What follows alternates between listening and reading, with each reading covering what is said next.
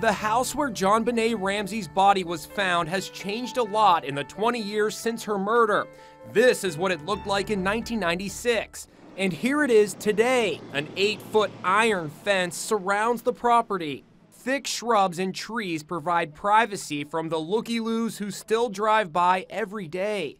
The current homeowners have never spoken out until now. It's just a wonderful place to live, and um, it's just it's home. Carol Schuller and her husband Tim bought the house in 2004 for $1 million. You'll become a somebody. She's the daughter of Robert Schuller, the famed televangelist who died last year. The mom of five says at first she was hesitant about the idea of living in the house where JonBenét was killed. I got out of the car and I'm looking at it going, God, are we really doing this? I mean, really? This is, this is just, why are we doing this? And we walked through the front door.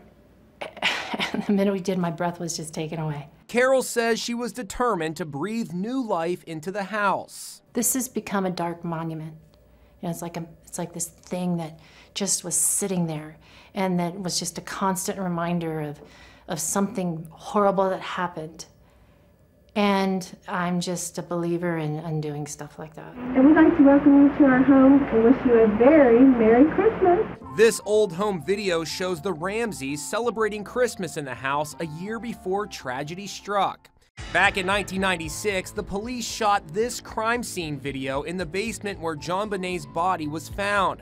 It was a labyrinth of small, dark rooms. But Carol opened it up, transforming it into a warm, inviting family room. We really wanted to create a space where all our kids could just kind of go down there and, and make it a hangout spot. Because of all the renovations, the original interior had to be recreated for the highly anticipated CBS documentary, The Case of JonBenét Ramsey, airing later this month. The Ramsey house, though it is still standing, has been thoroughly renovated. Doesn't look like it did in 1996. If they wanted to find out what really happened that night, we needed to rebuild it.